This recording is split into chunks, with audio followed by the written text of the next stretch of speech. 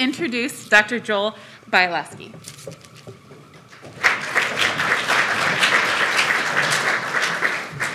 All right. Hey, everybody, thanks for having me here. Um, just, just, as a real brief background, um, I am a physical therapist, is my clinical background.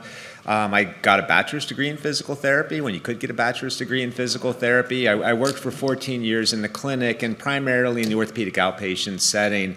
Um, Christmas Eve of 2004, we had an opportunity to drop into our lap, and so um, we moved to Gainesville, Florida, and that's where I started working my PhD. Um, and I got that in 2008 and been clinical fac- faculty at UF um, since then. So, so since 2005, essentially, I've been working in academics, and my current role is that I teach and I do research um, at, at UF as well. I think that's all you need to know. Um, in Florida right now, uh, which is not unusual for a lot of the time in Florida, but particularly right now, if you got to your car, there's about a quarter inch of yellow powder on everything. Um, so it's allergy season in Florida. Uh, I, I, do pretty well, except when I talk, and so so there, there is the problem. But but talking does tend to get this up. So so I've uh, been vaccinated. I'm boosted. I had COVID about six weeks ago. I tested negative for it um, recently. It's allergies, but if uh, if I do have to go to the cough drop, then I apologize for that. I will try to keep things together. All right. So, without further ado, um, so, so most of you probably decided or made the decision to come here because of the, the keynote speakers. When you found out that the conference was being offered again, you looked to see who was presenting, you saw the keynotes, and, and I'm assuming that that resonated with you, that, um, that the decision was made, that these were people that you had heard talk before, you read things that they published or were aware of them, and, and that kind of stimulated, stimulated you to, to want to come and, and see them in person as well. Um, so, so what I'd like you to think about then is, is if you settled in, you came here, um, or you were online and watching, and, uh, and it came time for the keynotes to start. And, what if, when the keynotes speaker was supposed to start, these two came out instead? And, and, what I would guess is that even if these two gave exactly the same presentation that the keynote was expected to give, they gave word for word what the keynote speaker was going to say, it's likely that you still wouldn't take as much out of it. You'd probably be disappointed in, in who was presenting. They wouldn't have the credibility. You wouldn't listen as hard to what they were saying or try to process it. And, and certainly, come Monday or Tuesday, when you went back to the clinic and started to work with your patients again, you wouldn't be as likely to take that information and try to start thinking about how, how this may change what you do in everyday clinical practice. Patients are no different. So when patients come to see us in the clinic, they have expectations, they have preferences, and no matter how good of a technical job you do with an intervention for them, what I'm going to talk about today is, is that the therapist matters, and, and you as a, the person makes a difference in the outcomes that are seen. So, the objectives for today are first to describe therapist effects, what they are, how big they are, and what kind of implications they have for clinical practice or may have for clinical practice.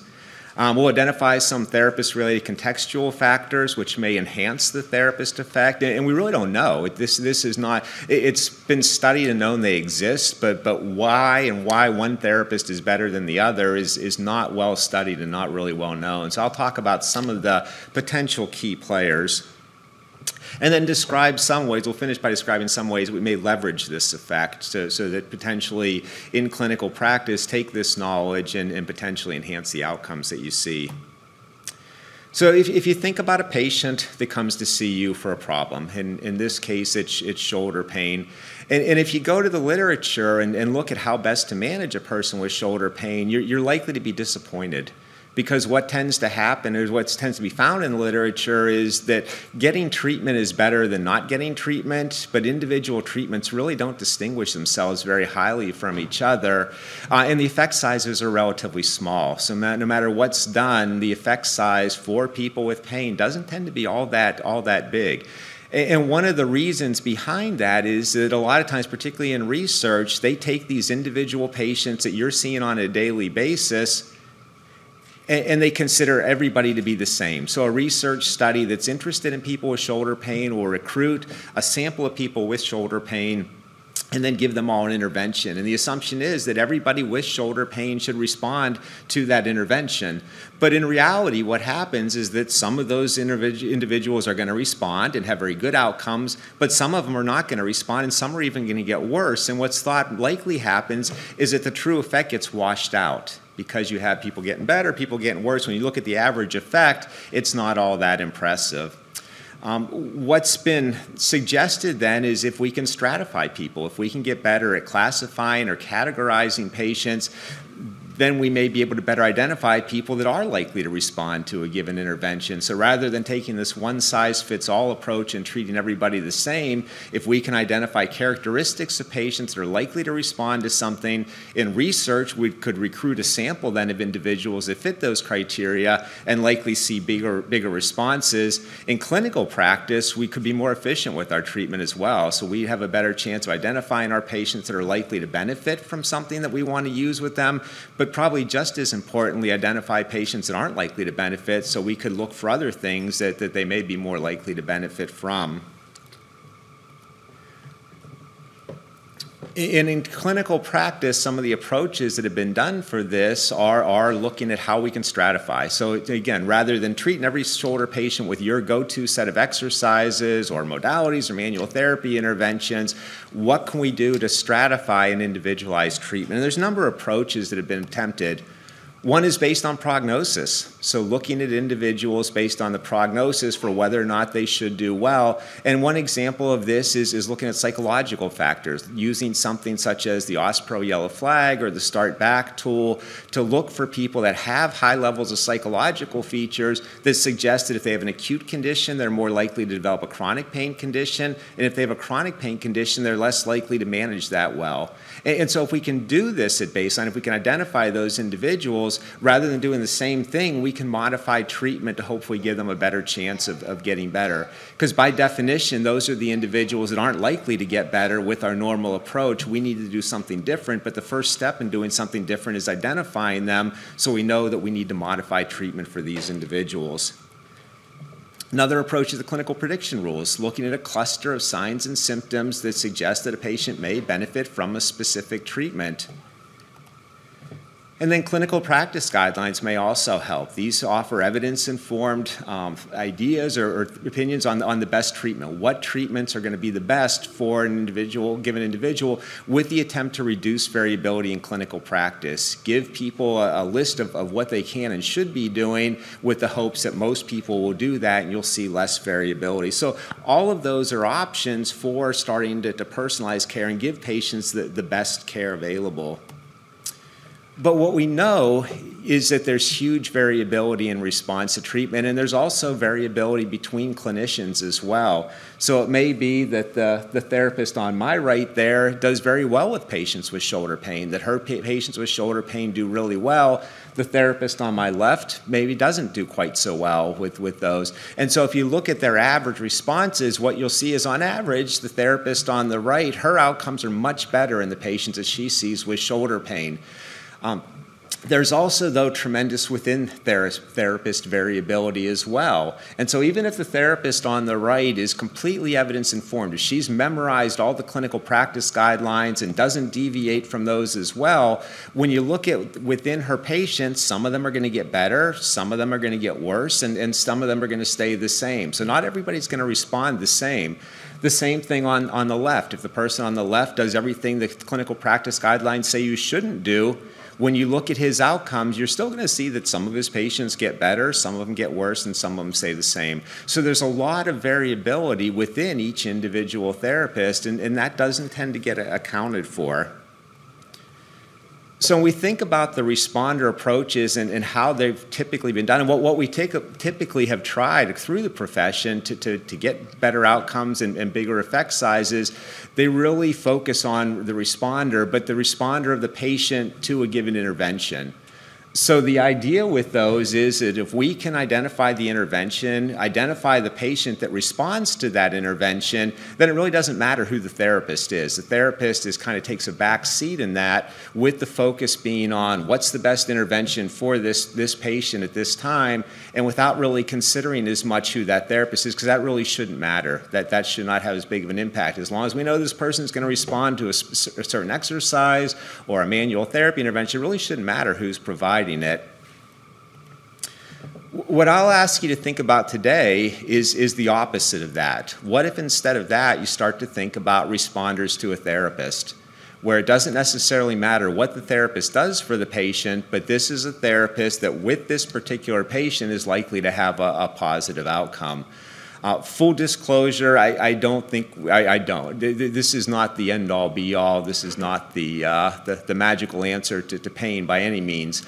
Um, so, so, I don't want you to think that I'm proposing that everything else has been a waste of time and, and now we just should focus on the therapist. But, but what I do think is this has been an underconsidered and an understudied area and, and probably another piece of the puzzle. You know, pain is obviously complex and, and there's not going to be a single answer.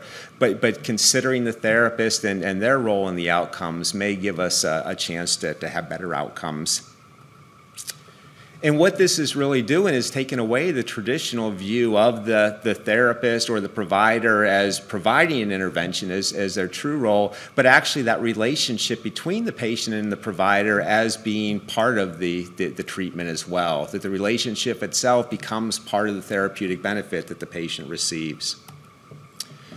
So, by definition, therapist effects uh, are the consideration that some therapists consistently achieve better outcomes with patients than other therapists, and these differences are not due to random error, patient characteristics, or other systematic sources of error. So, something inherent to the therapist plays a role in the outcome that's seen beyond the treatment that's provided. And essentially, what this accounts for is the amount of observed outcome that can be attributed to an individual therapist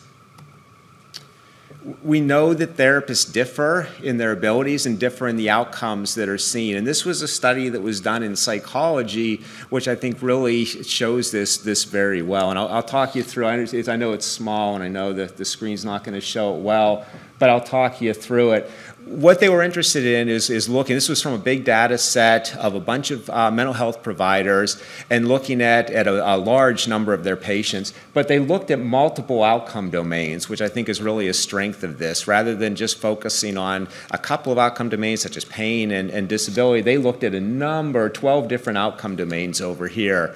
And what they first looked at was how many patients reliably improve. So, over an episode of care, did the patient show reliable improvement within each, each of those domains? Reliable improvement was defined as the minimal detectable change. It was essentially change beyond measurement error. So, low bar, but, but that is how this study defined reliable change or reliable worsening. No change were just people where the change did not exceed uh, measurement error. And without overlooking at this, what you can see is that what you already know. If you work with patients, you know that some patients get better, some patients get worse, and some patients stay the same. But what this found was similar findings, but across a, a, lot of different domains. And so you can kind of get a sense that on some domains, more patients showed progress than others. Um, mania, they didn't do so well with. They did much better with depression. So, so there were differences across the different domains. They then wanted to look and see the pervasiveness of, of effective therapists. So, what percentage of therapists were effective in, in each of these domains? And again, you can see varying effectiveness across different domains here as, as far as what percentage were effective, but then also what percentage were harmful. So, what percentage of therapists, when a patient came to see them following the episode of care, that the patient actually left worse than when, when they started with them? And then this is what I think is probably most interesting from this study. What they were interested then is, is how many competencies were therapists, um, or how many different domains were therapists competent in. And so they broke it down as far as being competent in no domains, all the way up to the total if you're competent in every single domain, meaning that on average, your patients show reliable change across every, every one of the domains that they were studying. And I think if we start up here, 4% of the therapists in, in this study were not competent on any domain. So that meant 4% of the therapists that were in this study, at best, their patients didn't get better following the episode of care, and at worst, they were actually worse after they had seen the therapist. I guess the glass is half full would be that 96% of the therapists were at least competent in one domain. No therapists were competent in all 12 domains. This is the superstar, of the sample here, who was competent in, in, in 11 of the 12 domains. But what I think is really interesting to think about with this as well is that even though this is kind of the superstar, this is the, the one that, that is outstanding in, in, in 11 out of 12, whatever percentage that is, but it's a high percentage. If you compare that person to these 45 down here that had a low batting average, they were only competent in, in one out of 12. But if you think about a patient coming in, and if that patient comes in where the domain that they really need help in is the single domain that this therapist here can help them with, and that happens to be the single domain this therapist here is not very good at, they may be better off seeing one of these individuals up here. So therapists differ in where, where, they're competent and how. Unfortunately, most therapists, at least uh, mental health therapists, are going to be competent at least one, one domain, but there is a wide range at how competent they are and, and what domain they're competent in. They looked at the effect sizes here, and across the board, small to modest effect size. If you just looked at everybody, small to modest effect size for everything, except for depression, which was relatively large. But if you look at the effective therapist versus the harmful therapist, quite large effect sizes there. So the effective therapists were quite effective. The harmful uh, therapists um, had large effect sizes, but not in a good way as, as far as their, their patients getting worse. Another study considered this as, as well, using a different data set and different outcomes. And what they found in their study was that high performing therapists, their outcomes were actually two times better than the average performing therapist. And, high performing therapists were actually three, got three times better outcomes than the lowest performing therapist in the study. So there can be a pretty dramatic difference between how effective somebody is.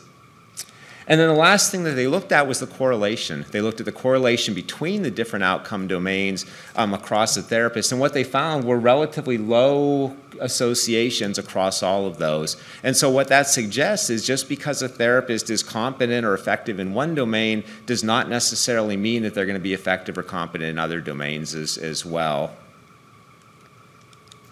The magnitude of the therapist effect has been studied. A, a, relatively recent systematic review looked at this in psychology, and what they found was across all studies, it accounted for about 5% of the variance, um, and we'll talk about that in a little bit, which, which is small, but, but it's, it's acknowledgeable. Naturalistic studies, meaning those that just um, just followed people, cohort studies, observational studies, about a five percent um, therapist effect. And, and, what was interesting, a little counterintuitive, is that in randomized controlled trials, the therapist effect was actually found to be bigger, so it was about eight percent. And, and, and why this is counterintuitive is that randomized controlled trials are very heavily controlled. Obviously, they're, they're very strict with the criteria for who gets included in it. The therapists performing the interventions are trained and monitored to make sure they don't deviate. And a lot of times, even the, the um, interaction between the therapist and the patient is scripted as well. So they do everything they can to keep consistency across it. Even with that type of control, still a substantial um, ther- therapist effect. And, and I think the important thing to take from this is that the therapist effect is present regardless of the type of study. So it appears to be small magnitude, but, but relatively robust. It occurs in different kinds of studies. This has been looked at in musculoskeletal pain as well. This was a, a, secondary analysis of four different studies that all looked at people with spinal pain. And in each study, it was a comparison of an exercise intervention versus what they called a biopsychosocial intervention, which for, for most of them was cognitive behavioral therapy. And, and so what they found was that less than 2% of the variance in the outcome, in, which was disability, could be attributed to the treatment. Um, larger amount of the vari- variance in outcome, which is disability, could be attributed to the therapist effect, and up to 7%. And this is a relatively consistent finding. Um, this study and, and a, a number of others that have looked at this, particularly in the field of psychology, find that the therapist effect tends to be larger than, than the treatment that's being studied. What they also found in this was that the larger effect um, was found too in the more biopsychosocial type of interventions. So, a larger therapist effect was found in the delivery of the cognitive behavioral therapy and, and to a smaller extent the, the exercise treatment as well. So again, acknowledgeable that, that a therapist effect does occur, relatively small. And so the question then is, is how clinically meaningful is that? Do these small effects really mean anything to individual patients? And that's what this study attempted to look at then. So this is a study that was done in psychology as well very interesting approach. And what, what they were really, they, they were interested in the size of the therapist effect, but what they also were interested in this is, is what if as a system you monitored that and then got rid of the poor performing therapists? So what if you kept track of, of everybody's outcomes and at, at certain time points you identify that these therapists aren't cutting it and so you got rid of them and then replaced them with, with other therapists? What would happen in, in that situation? Um, what they did is, is they, they did use a, big data set from this and they simulated the therapist population. So they randomly selected a thousand therapists from it. And then from that thousand therapists, randomly selected 50 of them. They then simulated patient outcomes. So each therapist, they, they took 30 of their patients, and, and with the 50 therapists that were being assessed, that gave them 1,500 patients then to, to simulate their outcome. They followed them over a 10 year period and looked at the outcomes over a 10 year period. Um, but every quarter, so every three months, they would go, they would identify the, the low performing therapists, the low performing 5%, take them out, and then go back to the original data set and, and replace them with a random selection of, of additional therapists from that. And they just continually did that. So the first figure over here shows just what the difference was between the high performing and, and the low performing therapists they broke it down at, at 5%, so this is a small effect from the therapist effect, 10%, which is a, a medium effect, or 20%, which is a high effect. In reality, most studies are going to find that the therapist effect is somewhere in here. So if, if we do conservative, we can say that the, the 5% is probably a, a conservative, realistic estimate of, of what the, the actual therapist effect is. The y-axis shows the responders, so how many patients were responders over this course of time. X-axis shows the time frame.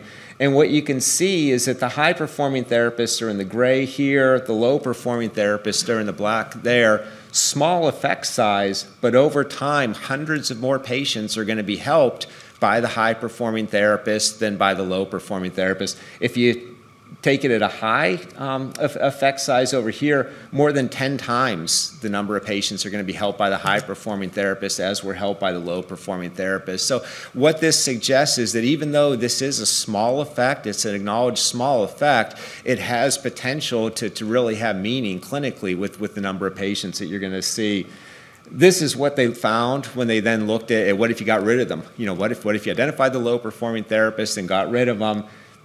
With everybody included, they had about a 50% success rate. So about half the patients that went through ended up being successful based on their criteria.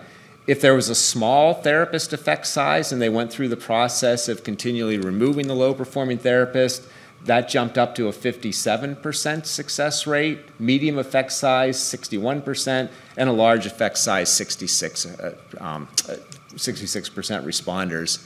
So uh, again, what that suggests is if you monitor this and, and really work to kind of push people to the high responders, there may be significant clinical impact from that. All right, so, so having then determined or hopefully convinced you that there is a therapist effect, um, you know, the next question is why? Why, why does that occur and, and what's responsible for that? Certainly, there's likely specific factors. So it's likely that the therapists that have strong training and are strong manual therapists or strong movement system experts, able to identify movement impairments, or really good at giving appropriate dosage of exercise, that that, that has a role in why one therapist, you know, this therapist is just better at prescribing exercise and dosing exercise, and this other one, and, and that plays a role in why that therapist's outcomes are going to be better than the other therapist. Traditionally, when this has been studied, though, this doesn't pan out as being overly influential. And, and what does tend to, to be more influential in studies are these contextual factors, particularly when we're talking about pain. So, factors such as expectations, such as preferences, such as the relationship between the provider and the patient, those typically seem to be more influential in, in why a therapist is, is more effective than another one. And so, while acknowledging these, this is what I'm really going to talk about for, for the rest of today. And so these contextual factors are not unique. I, I, I, think that sometimes people think of contextual factors as placebo, and, and with the idea that if these are a major factor in why somebody gets better to an intervention, that intervention is not effective because it's a placebo, and so by definition, it's it's not effective. And, and I hope too that uh, I, I hope you don't think that or to convince you otherwise. Contextual factors are, are present, I would argue, in any intervention that, that we do for pain. One one of the best examples I think of this are these open hidden paradigm studies, and, and in this type of study, there's at least two arms of the study. These are essentially placebo mechanism studies. So there's studies that are looking at the mechanisms behind placebo. What's really great about these, or really interesting about these, is they don't use placebo. So everybody gets an active intervention in this type of study design. In these type of study designs, they've always done with medication. Um, but one group gets the medication, but it's in an open manner. So there's an infusion device that has the medication. The infusion device is in the middle of the room. The patient sees it. A physician wearing a white coat walks into the room, tells the patient, you're about to start getting a very powerful pain relieving uh, medication right now, and then in front of the patient turns the, the machine on. The other arm gets a hidden infusion, and so with that, the infusion device is behind a curtain. The patient can't see it. It's set up on a timer, and so it goes off and on on its own without the patient's knowledge of it. So the patient isn't aware when they're receiving the medication. This is an example of a study that, that took this approach. This was done in thoracotomy patients, so highly invasive surgery using morphine and, and looking at the effectiveness of morphine. The black circles down here are the open infusion, so these are the group that knew they were getting the medication. White circles are hidden, they did not know they were getting it. And what you can see is that when the, the individuals were aware they were getting the medication, significantly greater um, pain relieving effect of the medication. They also looked to see what would happen if they turned the infusion device off, either with the patient's knowledge or without the patient's knowledge, and the opposite occurred. Individuals that knew that the device was being turned off had significantly greater pain and a quicker rise in their pain than if they were not aware that they were no longer receiving the medication exact same medication, exact same dosage of the medication, but the context in which it was provided made a dramatic difference in how effective it was. Again, that doesn't mean that morphine is nothing but a placebo, that it's ineffective. Morphine's a powerful pain relieving drug. It's known to be effective, it's known to work through specific mechanisms. But what it does suggest is the context in which it's administered can make a dramatic difference in, in how effective it is and the argument that I'll make with, with what we'll talk about the rest is, is that that has to hold true for physical therapy, massage therapy. Any intervention that we do as conservative intervention for people with pain is going to have a, a contextual factor to and mechanism to it. We'll talk about some of the non-modifiable factors that can influence the, the relationship. I, I had to look long and hard to find that one, so I was uh, proud of that. Well, one is the sex of the provider. So, so one is, uh, and what, what I think is interesting is some of what we're going to talk about. I'm, I'm going to talk about it very superficially, but I, I, know some of the other talks and, and the one prior to this, I think, get, get into a lot of these factors and a lot more details that, that, that, open it up to consideration. But the sex of the provider is, is one consideration. As far as reporting pain, men um, traditionally report less pain to women. So if a man is, is in the presence of a woman being asked to report pain, they will tend to report lower levels of pain than if they're in the presence of, of another man.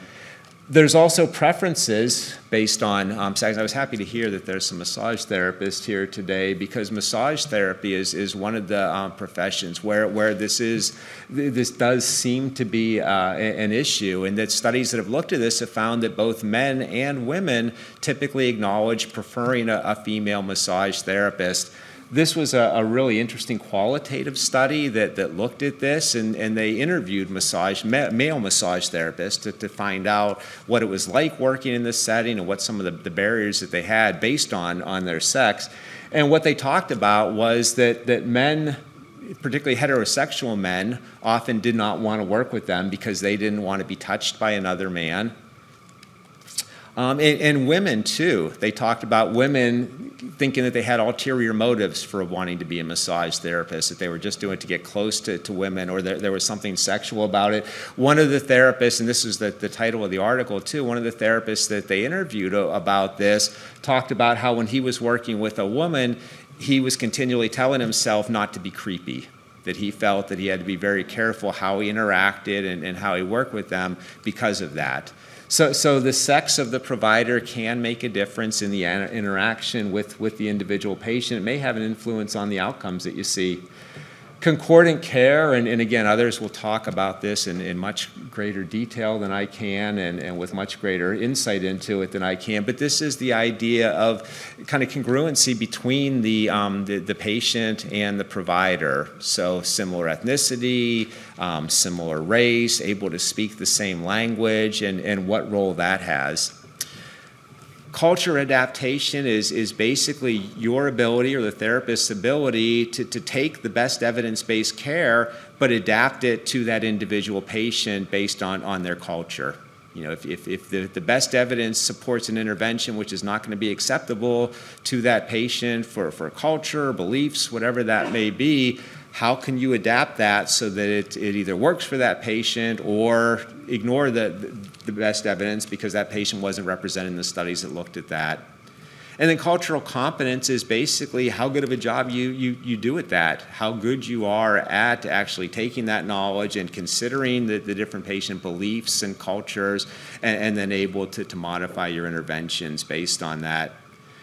Concordant care has been shown to make a difference. Um, it's been shown that patients prefer providers that are similar to themselves in terms of race, in terms of ethnicity, in terms of able to, to, to speak the same language that they speak.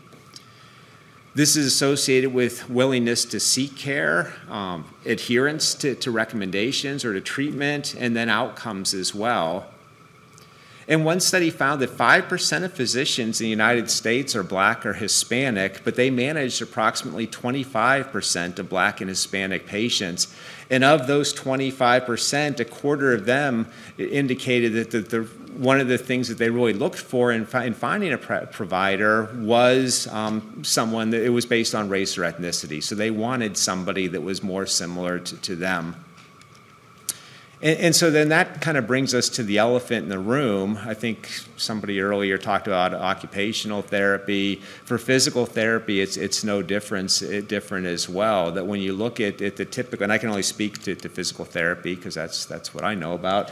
But, but for physical therapy, this is the typical physical therapist. The APTA released um, findings on. I thought it was real interesting. I think she said that occupational therapists were. Um, around 83% white is what, what was said earlier. We have you barely beat that, that physical therapists are, are over 84% white.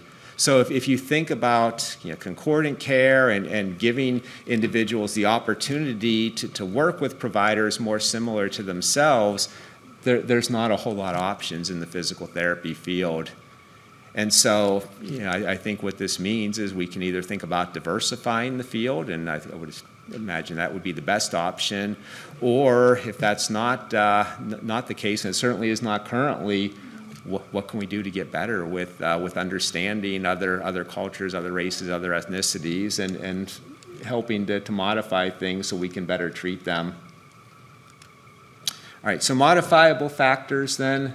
Um, clinical equipoise, your preferences, how much you prefer uh, or, or, feel strongly about an intervention. By definition, equipoise is not having a preference. So, by definition, equipoise means you don't care. That, that you know, in your, in your mind, you'll do whatever, and, and one intervention is not any different than, than the other one for you. In a research study, that's ideal because in a research study, you like to think that there's not going to be that bias. And so, whatever arm of the study that the individual's in, that they're going to be treated by a provider that, that does not have those strong feelings toward it. Now, obviously, that's not realistic, and that probably plays a role in some of the findings when you look at who performed some of the studies, but, but that would be ideal. In clinical practice, having equipoise or not carrying probably not as good. Chad Cook did a study several years ago, and what they looked at was um, people with low back pain getting either spinal thrust manipulation or non-thrust mobilization. And, and what they found is what they typically find in most studies to compare one manual therapy to the other is it didn't make a difference. That patients in the study got better, but it, the groups didn't make a difference in, in whether or not they got better. The groups performed essentially the same. What they did find in the study, though, was that the equipoise or lack of equipoise of the provider did make a difference. And, and so, if a provider preferred the thrust manipulations and was was um, was giving the person thrust manipulations, their outcomes were better than if the provider performed the thrust manipulations and instead was using non-thrust mobilization. So it appears that your preferences and, and your beliefs about an intervention may enhance clinical outcomes and may make a difference. Your expectations can make a difference as well. There's a study from the placebo literature that, that looked at dentists and that were providing a painful tooth um, pr- procedure. And there were two arms in the study. One arm got uh, placebo, or they got naloxone, which is an opioid antagonist. And so essentially, that group was not getting a drug. Yeah, they, they were getting nothing that should have had an effect on their pain. The other arm of the study got placebo, they got, or they got naloxone, or they got a, an analgesic, I believe it was fentanyl. I think it was fentanyl, but, but whatever it was, it was a known powerful analgesic agent. So that group had a 33% chance of actually receiving the medication. Participants were blinded. They didn't know what, what they could possibly receive.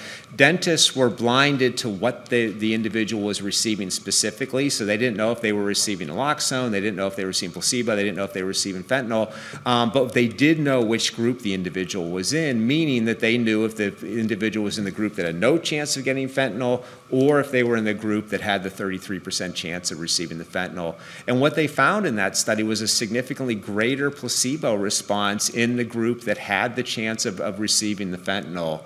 And so, what that was attributed to is something with the provider's expectations, that the provider knew that that group had a, at least a 33% chance of getting an actual medication, and, um, and something about that influenced how they interacted with them or, or how they, what they did with them that, that made a difference on their, their pain.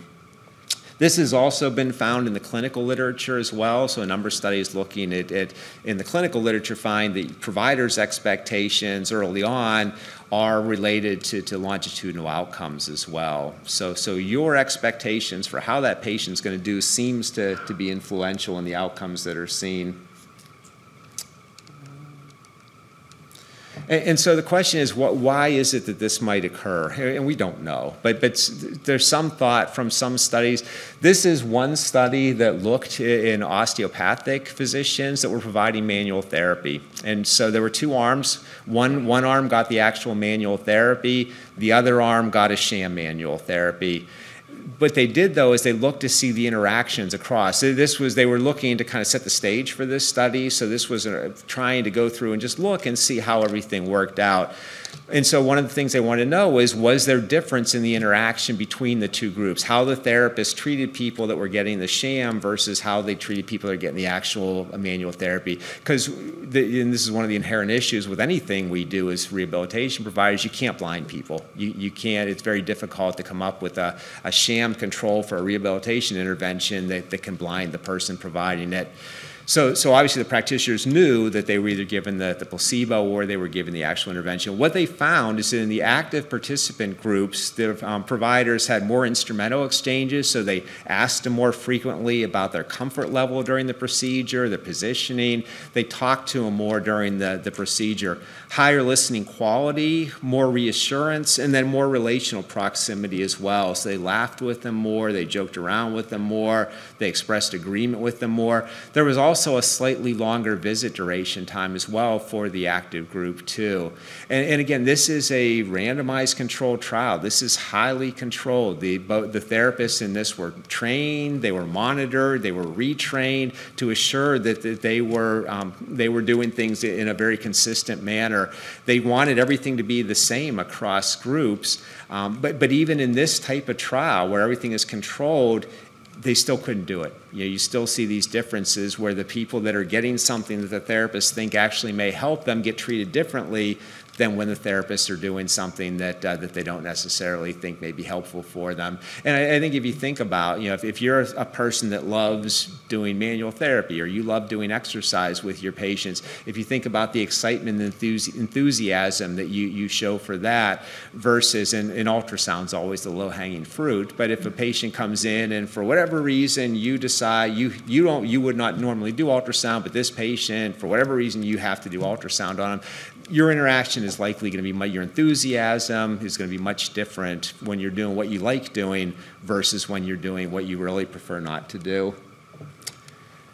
All right, the placebo literature also gives us some insight into, uh, into attributes of the provider that may influence how people respond to us. A systematic review looked at this, and what they found is that placebo responses are greater if the participants of the opposite sex. So, if the person providing the placebo is of a different sex than the person receiving the placebo, that results in a larger placebo response. If the person providing the placebo shows higher confidence, competence, and professionalism, that results in a greater placebo response. And then positive nonverbal behavior, such as smiling, strong tone of voice, eye contact, and then leaning toward the participant, all of those result in greater placebo responses as well. And, and so, if we take the, the step of trying to translate this, I think we can assume that likely if this works for a placebo, that likely for our, our quote active intervention, interventions that we do every day with our patients, these type of things are likely to enhance the effect that we see with that as well. Studies have looked at provider characteristics. One study of uh, over 300, close to 400 patients with chronic disease that were being seen by physical therapy found that outcomes were better in physical therapists who are calmer, um, more relaxed, secure, and resilient. And another study of people with shoulder pain found that outcomes were better in more outgoing or more energetic physical therapists. So your personality may influence how people respond. Again, that, that's likely very personalized. So some patients are probably going to prefer a really outgoing and a therapist and respond to that. Others may prefer prefer a more reserved one. But on average, this was found. And then therapeutic alliance is a consideration. I know that'll be talked about later today as well. But this is defined as that emotional union between the provider and the patient. It's really that collaborative sense between the, the two parties. This has been associated with improved outcomes in rehabilitation. And it's been shown that this is required for improved outcomes rather than a result of favorable changes. So that's the question: is you know, which comes first? Is therapeutic, strong therapeutic alliance result in better outcomes, or does strong therapeutic alliance occur because the patient's responding well and, and they like you and you like them better? Um, so, so it does appear that this comes first, and making that alliance seems to be the first step, which then results in the, the favorable outcome. Strength of alliance seems to be due primarily to therapist qualities. So, certainly the patient plays a role in that, but the therapist seems to play a stronger role in how strong that bond is. And then it's been suggested effective therapists are characterized by their ability to form alliance across a range of, of patients. So, more effective therapists can form that bond with a, with a large range of patients. And then this is a study I'm just going to briefly go through that, that looked at what are the characteristics of therapeutic alliance in physical therapy and occupational therapy. And they came up with eight different factors. They came up with congruence or agreement on goals, um, connectedness or friendliness, empathy, communication, expectations of therapy, um, in, in, terms of how the therapy was going to be carried out, but also outcomes, how they thought they were going to do, individualized therapy, influencing factors such as a therapist's skill and the, the patient trust and dependability, the partnership between the two, and then the roles and responsibilities, particularly being a motivator and, and encouraging the, the patient as well.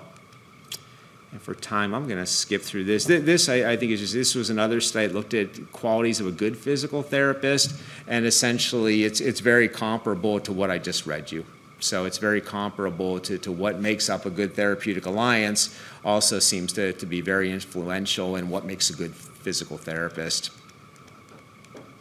All right, so how can we apply this to, to clinical practice then? How can we apply some of this to clinical practice? First recommendation is that we need to collect outcomes. We need to collect outcomes and we need to collect them consistently on our patients because without outcomes, you have no idea if you're a high performing therapist or if you're a low performing therapist. Uh, I, I, think in physical therapy, at least, we do a better job of this now than we used to. I, I work with, with students, I teach students, and, and so I, I know what they do when they go out in their clinical experiences. And, and, for a long time, they, they weren't collecting outcomes. Now it seems that they're collecting outcomes more regularly at the clinics they go to, but the outcomes are still collected at set time points. So they do a good job of getting the baseline. It seems most clinics are waiting until at least a four week mark to get other ones. And the problem with that is a lot of patients self um, discharge from therapy. So if, if you decide you're going to get outcomes at baseline and then wait four weeks, a lot of patients aren't going to be coming by the time that four week mark rolls around, and you lose any insight into how they did. I think we like to sometimes think that we did a really good job with them and they're not coming because they, they obviously got better, they don't need us anymore, but you don't know that. And, and so one thing that I think we need to do better as, as a profession is to, to collect outcomes and start to use that to, to self-assess.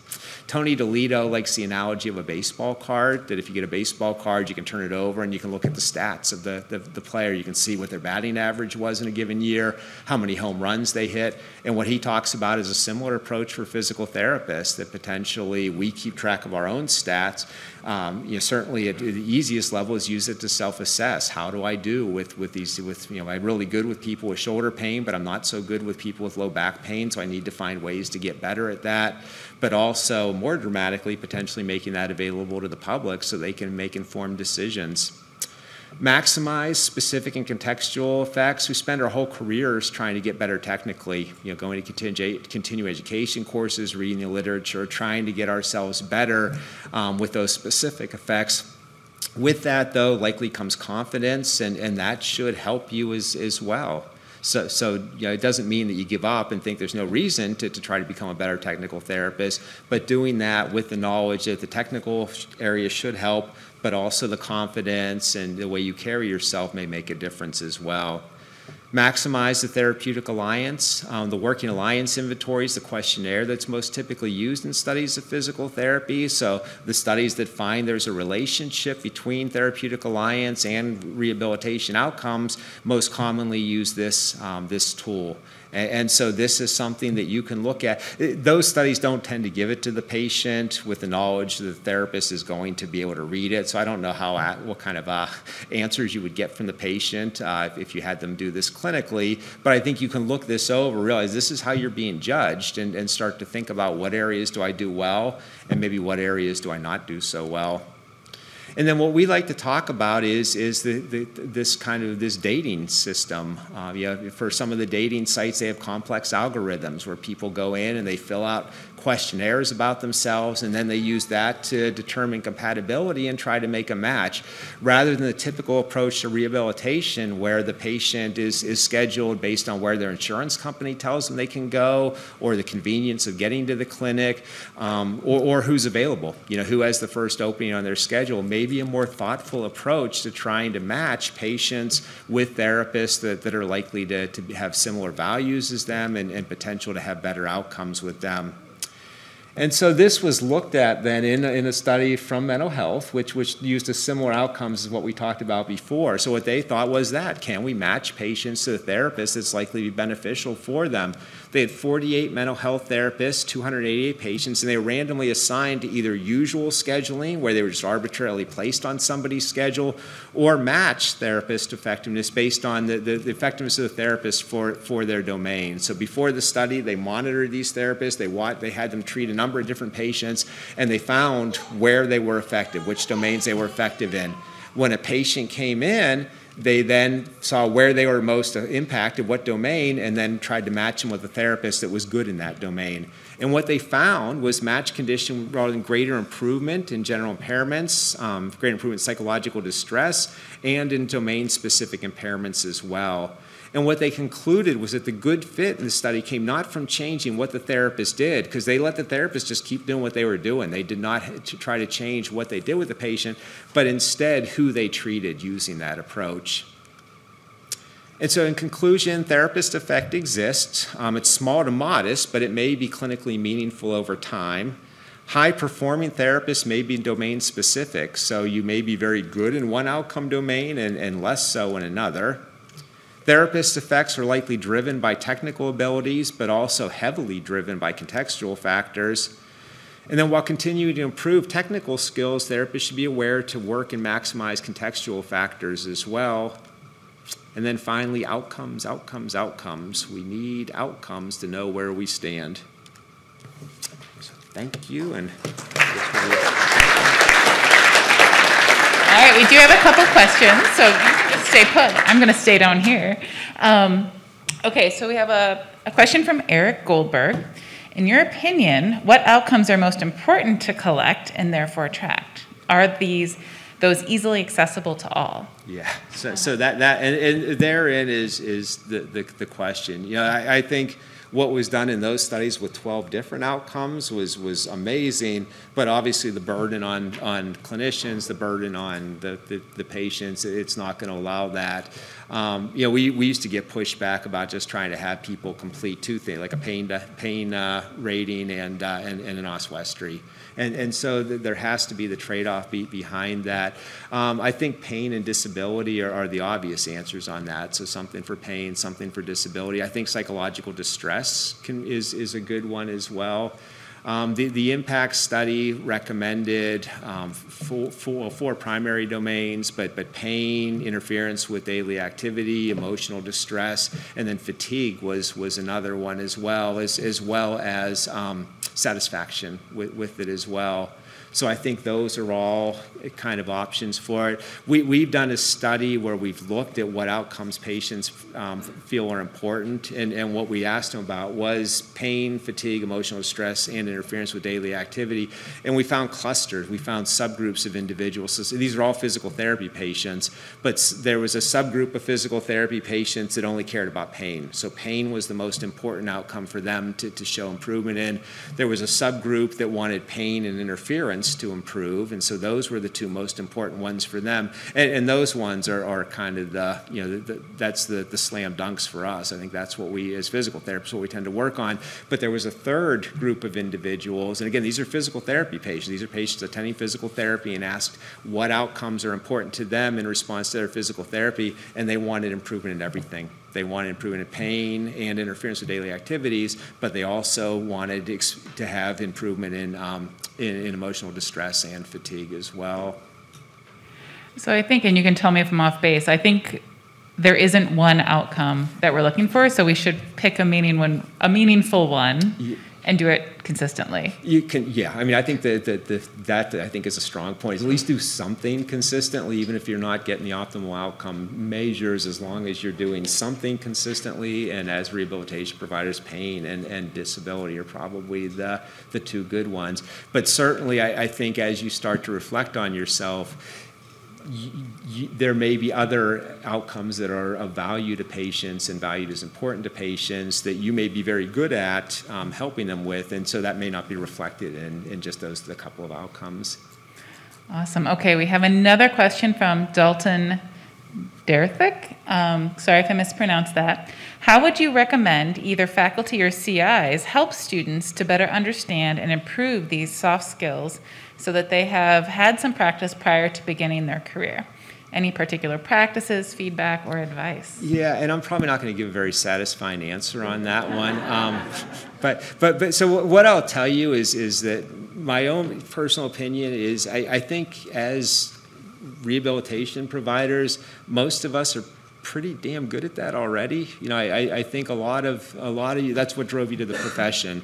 And, and, like I think of our students, and, and I mean, they're, they're just amazing people. They're just really great people. So I, I think one consideration is just to acknowledge that. You know, I, I think a lot of times we, we're looking for the hard science that, uh, you know, somebody's getting better because we've developed the optimal exercise that's strengthening this, this muscle, and that's what they really need. That if we can't get that muscle strong, if we don't give them the right, right dosage and the right exercise and the optimal way to do it, that that's, that's what we need to do to get them better, and that's why they get better. Or the manual therapy technique has to be done just right.